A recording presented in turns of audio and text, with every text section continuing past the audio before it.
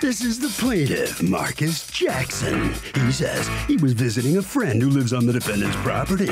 And as he was driving through the gate, it swung closed and clipped his car. The force of the broken gate scratched and dented his car. The defendant promised to pay for the repairs, but the liar hasn't. So here they are. He's suing for $2,077.05, the cost to fix his busted car.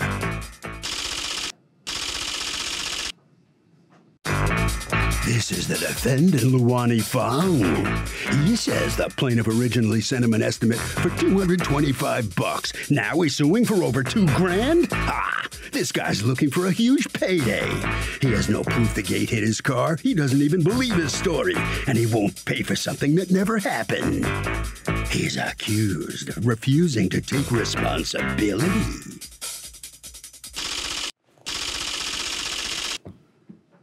All parties, please raise your right hand. Welcome back to the People's Court. Next case on the docket. The plaintiff says he was going through the gate of a building and it swung back and hit his car, damaging it. And he's suing the defendant because the defendant manages the building. The defendant says the plaintiff has no proof. It's the case of gated communities aren't so safe. Thank you, Douglas. You're welcome. All right, Mr. Jackson, you had the misfortune of driving through a particular alley one day, and what happened? Okay, uh, November the 1st, I was going to go to visit my friend, and I had just turned into the alley, and within maybe 10 to 15 seconds, something jolted my car. Boom, a loud sound. So I'm thinking somebody hit me from the back or threw something. So I stopped, I get out of my car, I looked, I see this fence that hit my car from the A property. fence had hit your yes, a steel fence that hit my car, the side quarter panel of my car, which is the property that Mr. Lawani manages. Okay, so I didn't know who owned the property, so I got out. It's a Okay. it's a triplex, so I went to. Let's let's The- hold on hold on one second. Is is this your car? Yes, it is. Is this a picture taken when this happened, or Yeah. did you recreate it? No, this is when it happened. Okay, so it swings open It like swings that. open. All right. When you were driving, you didn't see an open fence. No. Right? And then as you're passing it, it swings open Yes. and hits Yes. your car. Okay? Okay, so uh, where the complex is, it's a triplex. It's three units. Okay, uh, I didn't know who it was, so I went to the closest unit to the fence, which was Mr. Jeffrey Lancaster. Okay, uh, he wasn't there, so I left my name and number to get in contact with me. The following day, hit Mr. Lancaster got in contact with me, told me that he would contact Mr. Lawani about this incident. So in, in Okay, time, now you own the place? No, I help manage it from um, the owner's Douglas Recall. Douglas Recall. Are you Mr. Recall who owns that place? No. Okay. Who's that young man? It's my son, Eli. Okay. So you have no ownership interest? No. Okay. When do you folks first hear about a problem with the gate? Um, so about a problem with the gate was probably um, around that time when. Yeah, I know it's around that time. Yeah. I'm saying, do you hear about it from him? Do you hear about it from your tenant? Or how do you hear about it? Um, I think I hear from from him first. He From said him he- first? Yes, I think he left. I, I think so. I'm not. I'm not exactly sure on the timelines, but I got a, a voice message from him, and um, that's how I, I think it started. Had any of the tenants told you that there was a problem with the gate before you heard from him? I do not recall exactly on when exactly, but I did hear from a These are, tenant. the, this is, these are like the only things that matter are the questions I'm asking you right now. Did any of the tenants tell you, and if so, when did they tell you that there was a problem with the gate? So one of the tenants told me that uh, the chain and lock from the gate was stolen. When did that tenant tell you that? Um, Was it before or after this accident? uh, it was probably um, before, And if it was before, how long before was it? not from the accident, from the time I heard from him, because I don't know exactly what day that happened. Okay. What day did that happen? okay, that happened on November the 1st. Okay, stop. That Okay. happened on November the 1st. So Okay. when did you hear from him? From um, my recollections in terms of hearing him, it was from him um, Yeah. from this, um, November 10th. Okay. Now, what did your tenant tell you when your tenant called you about the, the gate or the lock or whatever else? So the tenant says that there was no um, lock on that gate, and that um, it, with the wind, it swung open. And then, so there's two tenants involved. One is the one he, he's mentioning, Jeffrey Lancaster, and then the other is the tenant that actually called me, the one that um, I guess got the the chain lost or stolen or something. That What do you mean got the chain lost or stolen? She she was when she was telling me she was saying that she went in because we we put we, there was a chain and lock on that gate. We put a new combination one for for the tenants. She called me and says that when she was pulling into her driveway, she unlocked it, and by the time she came out, that chain and lock was stolen. This happened on probably like on if it was November 1st, like around October 31st, October 30th, somewhere around there. Okay, do you have an affidavit from that tenant? No, Do you have any texts from that tenant telling you the things you're saying? no. All right. You want him to, how much damage did that end up doing? 2207. Now, originally he only asked you for how much? $225. No. Okay, how did it go from 200 and something to 2200? I have a friend that my brother has a car club. Okay, he does custom body work. He, by me being my brother's friend, he was going to do it for me for a cheap price. When Mr. Lawani brushed me off, I said, okay, Now I'm going to the I'm dealer going to and the getting dealer. 10 times I'm that. going right. to the dealer. So I took it to the Jeep dealer, and that's the price and estimate Well, they did you pay it and get it done? No, I, I oh, haven't took it. Because if I award you 2000 something, you're going to your friend for 300, right? And then bonanza for to the you. Ching dealer. ching, let the cash register ring. so, and then I went and got three other estimates. we for have it. to figure out whose fault this is. I know whose fault it's not. Yeah. Everyone knows it's not your fault. Oh. But what we have to figure out is whose fault is this? Who is at fault? You're here representing the landlord. Correct. Is it the landlord's fault for not getting on the gate issue faster? Or is it the tenant's fault for not locking it? Tell me that story again that the tenant didn't lock it and what? So she calls me um, around the 31st or November 1st, saying that she pulled into like kind of like that driveway. You have to you have to open it, and she pulled into her driveway. She said she was leaving, um, getting her nephews or nieces out of the car, and by the time she came back, this was in the, in the at night or in the evening, the chain and lock has been stolen. So she didn't lock it. So there was a kind of a hole that you tie it around to to lock that gate. So she called me the next day and said, "Hey, you know what? This is stolen." So I told him like, "Well, you gotta get an, an, a replacement one." Did she? She did, And? and so it was replaced. Then afterwards, I'm like, "Okay, so why is it swinging open?" That's when also um, his things were like, "Why?" Wait, Is it? is it swinging open after she replaces it? No, I was just thinking like, Okay. uh, since he also called saying that this thing was going on, so I'm like, okay, so what's going on with this chain and lock, and how do I prevent?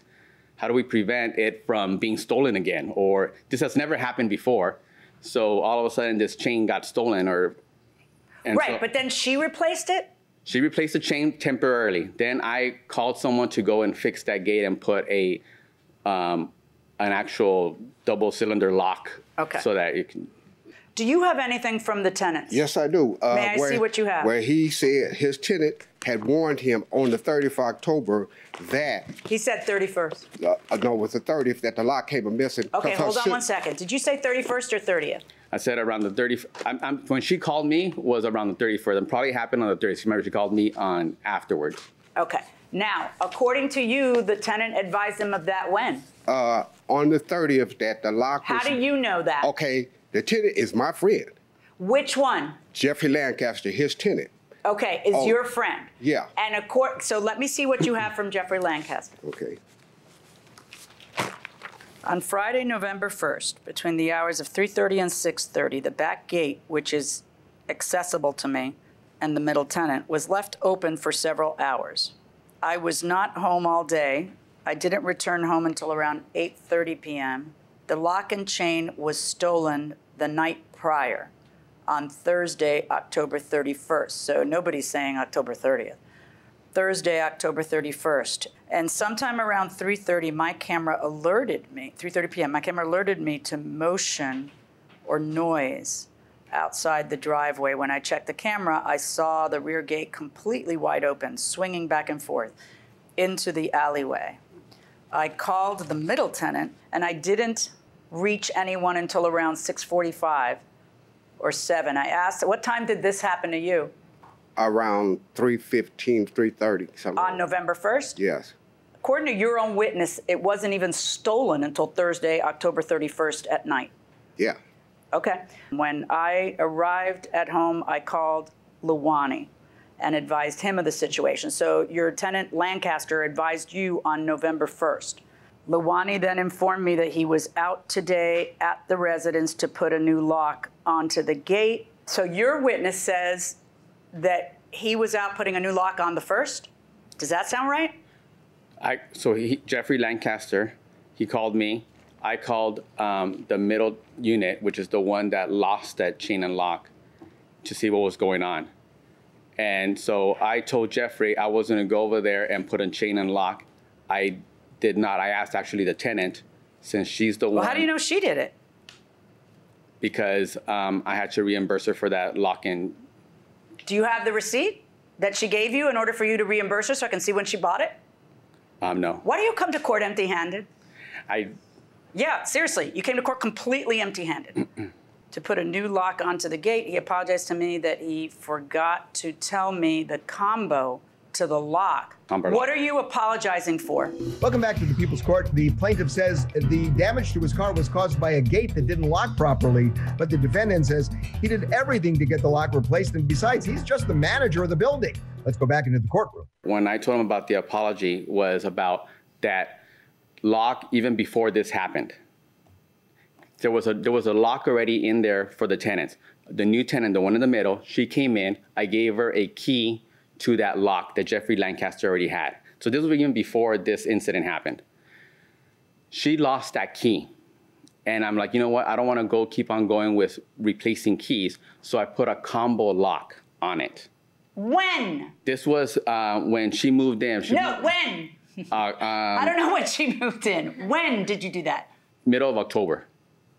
That's when she moved in. So why are you apologizing to Jeffrey? You didn't give the other tenant the combination?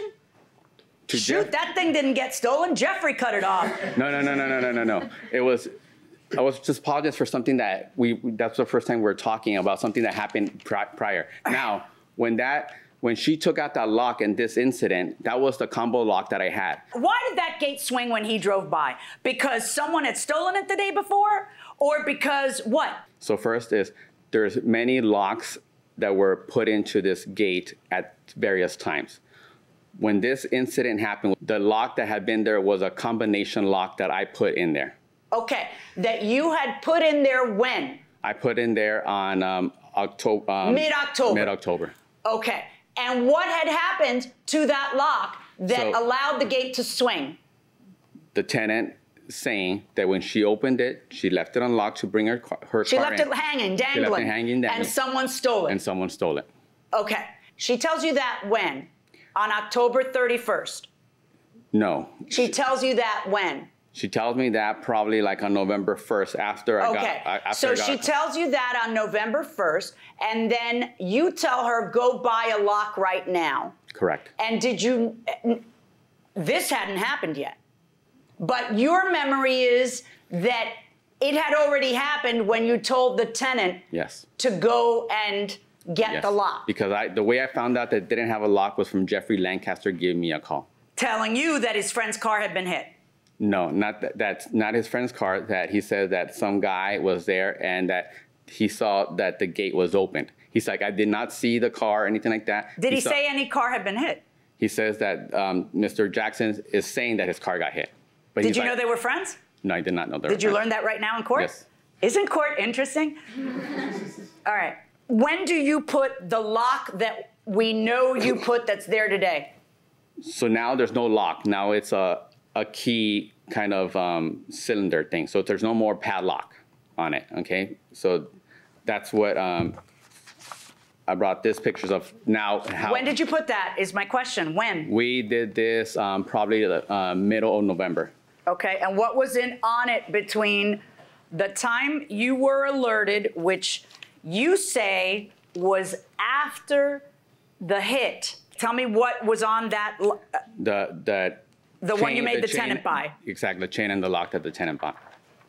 So you have two letters from Mr. your friend, Mr. Lancaster. Let me read the second one, which is authored in February.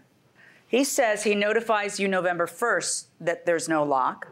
He confirms that the other tenant purchased a lock and chain and put the lock and chain on the gate until Mr. Fong arrived to put his lock and chain onto the gate. So let me ask you a question. Your feeling that the landlord needs to pay you $2,000 is predicated on the fact that the landlord did something wrong. That's the only way that they would have to pay you the, the $2,000. Oh. Tell me what you feel they did wrong. Okay, let me. Because the question okay. is, did they hop, skip, and jump fast enough? Okay. And what we're talking about is 24 hours. Okay. So you tell me what they did wrong because they're not, you know, they're not magical. Right. They can't. They don't have a magic wand to fix something. In, in, the second the phone call comes in at Right. night. So tell me what they did wrong. Okay, let, let me get to the chase. Your tenant, the middle tenant that lost the lock, she moved in between the 23rd and the 25th of October. Okay, I even know her. What do you mean lost the lock? No, the she, lock moved, got she moved in. Okay, when she moved in.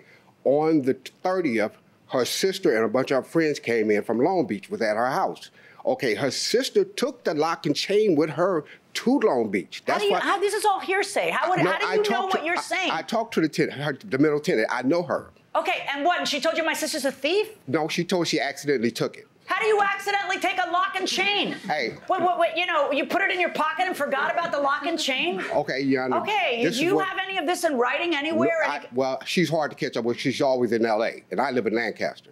Okay. So you know, this is what she told me. She accidentally took the lock. I'm like, okay, cool. You know, I ain't even tripping. You know, so what happened was Lancaster and her was getting into it about the Can, lock. can you tell me the things I'm, I'm interested in? Okay. Which is, what- not that I'm not interested in that because that's fascinating.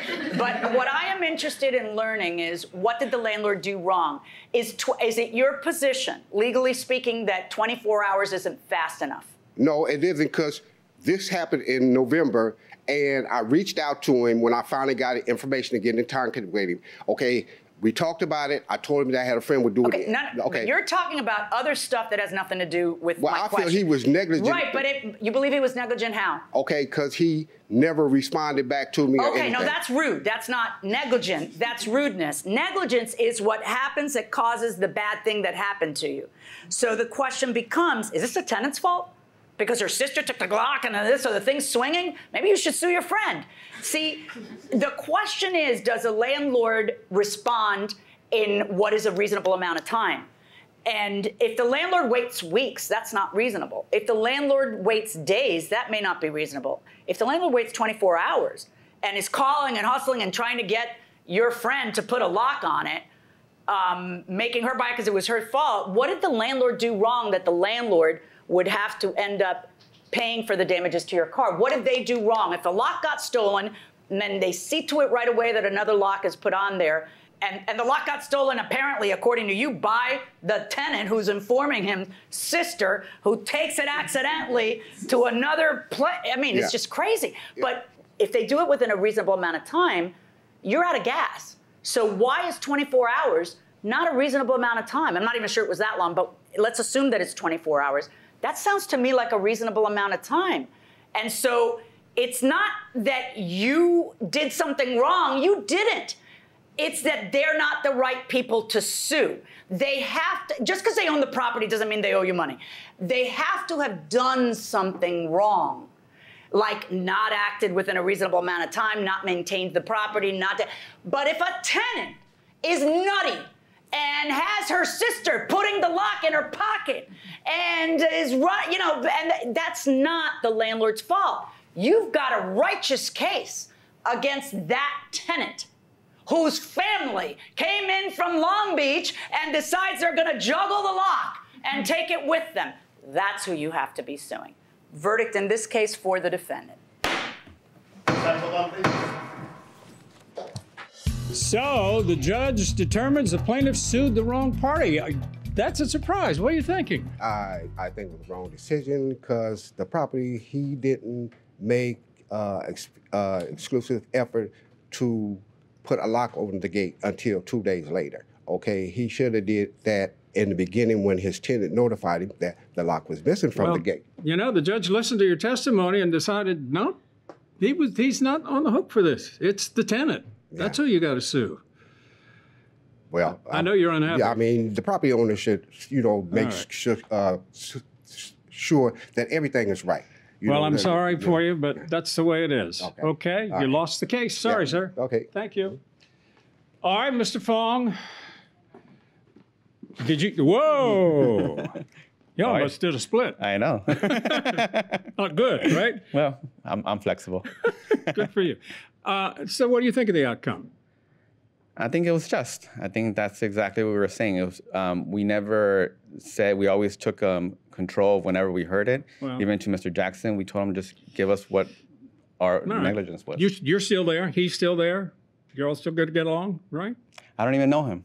You don't even know him. No. Well, you do now. And I do now. Okay, So, thank you very all right, much. thank you. All right, you must sign some documents. Okay, Harvey. So this is kind of interesting, Doug. The manager of the apartment cannot be responsible for the bad actions of a tenant unless the manager was unnoticed, should have done something it didn't. But normally, if the manager isn't involved, the manager is not responsible.